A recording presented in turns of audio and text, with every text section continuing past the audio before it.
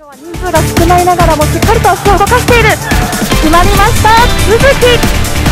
JR 伊藤から。ハンが決まった。で飛ばして。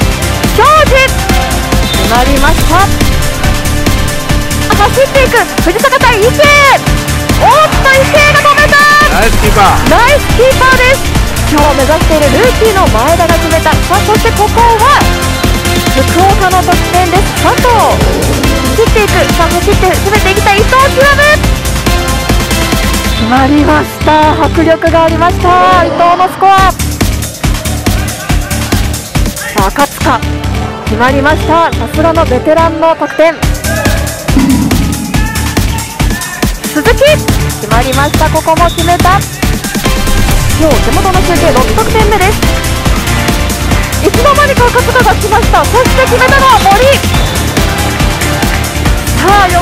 たが池江が止めたここで